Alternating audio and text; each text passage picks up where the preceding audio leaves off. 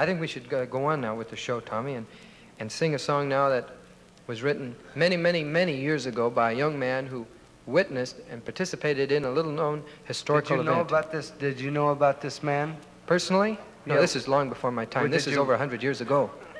Wow. I read about him in the Folk Singer's Guidebook, you see. I must have skipped that chapter. Yes.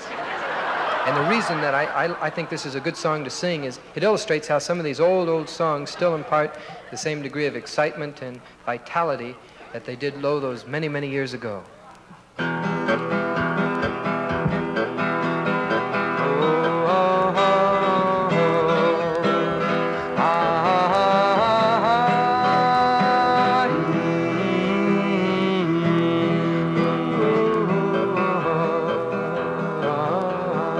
Hangman, hangman, slack your rope.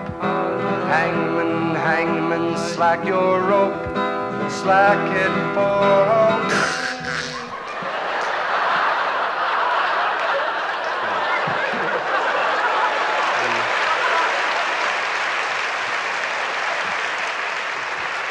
That's the last song he ever wrote.